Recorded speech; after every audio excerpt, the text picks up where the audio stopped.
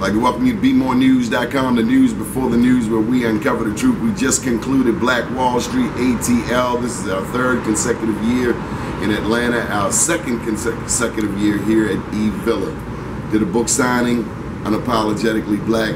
Special thank you to Harold, to Helen, to our cameraman Jason Foreman. The kitchen manager.